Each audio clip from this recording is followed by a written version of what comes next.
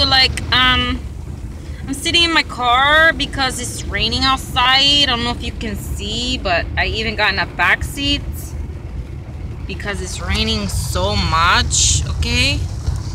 So like this was my thoughts. Um I don't want to go really fast and then you know maybe my car would skip on top of the water you know and I don't want to skip on top of the water with my car okay like if I had a rock I would throw the rock and that could skip on water. But like not my car you know? So like I just want to sit here until it stops raining and then maybe I can go home. But I don't know how long that is going to be